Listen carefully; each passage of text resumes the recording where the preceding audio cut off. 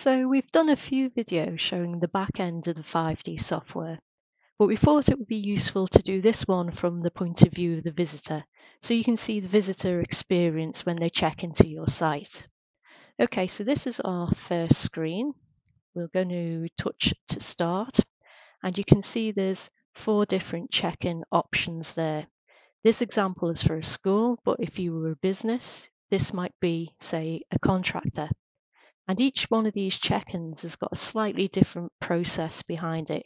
For example, if it was a contractor, you might want to give them a few extra checks as opposed to a visitor. So let's sign in as a visitor. Let's input a few details here.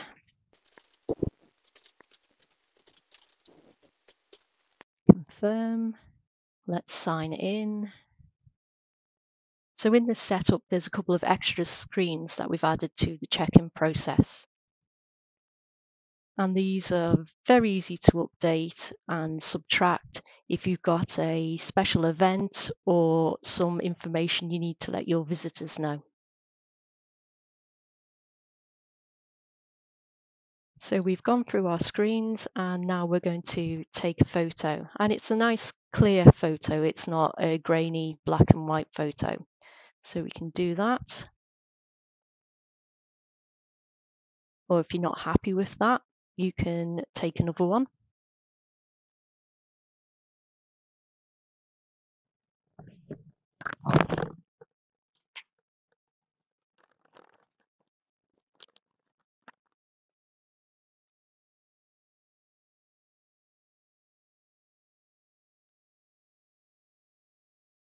And the final step is to just print your pass. So just hit print and you're ready to go. Simple.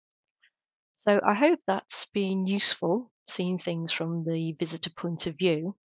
Um, because after all, a quick and an easy check-in process goes a long way towards creating that all-important first impression. And if you want any more information on our 5D visitor software, then simply go to our website where you'll find a lot more information or you can get in contact with us. Thank you.